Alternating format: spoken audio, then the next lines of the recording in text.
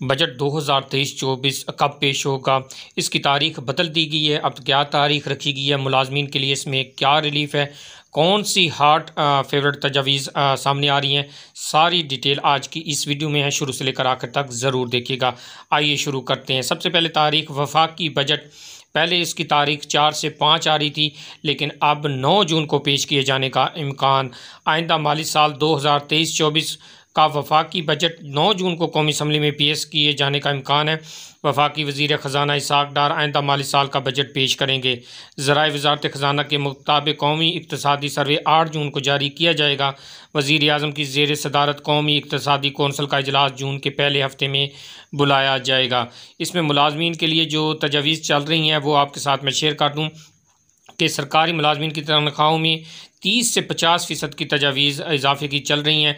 मज़दूर की कम से कम उजरत चालीस हज़ार, पेंशन में तीस फ़ीसद इजाफा और पेट्रोल में सौ फ़ीसद फ़ी लीटर कमी पर गौर वज़ी अजम को तजावीज़ पेश कर दी गई हैं। इतिहादी जमातों की मशावरत से तरक्याती फ़ंड मुख्त किए जाएँगे। महँगाई में कमी के लिए बजट में आवाम को भरपूर रिलीफ दिया जाएगा।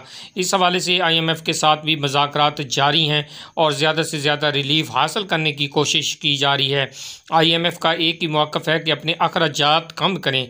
और अखराज को कम करने के हवाले से हुकूमत को सिर्फ़ यही नज़र आता है कि तनख्वाहों और पेंशन में कम से कम तनख्वाह में इजाफ़ा किया जाएगा तो ही हमारे अखराज कम होंगे। तो इस हवाले से सबसे ज़्यादा जो मुतासर कन तबका है इस वक्त महँगाई से, वो फ़िक्स तनख्वाह वाला तबका है, जिसमें साल में एक दफ़ा तनख्वाह में इजाफ़ा होता है। इसी तरह पेंशनर्स और महँगाई में इजाफ़ा जो है वो छत्तीस से पचास फ़ीसद तक हो चुका है, जो उसी तनख्वाह में वो पूरा कर रहा है, जिसकी वजह से बहुत ज़्यादा सफ़ेद पोश तबका मुश्किल में है।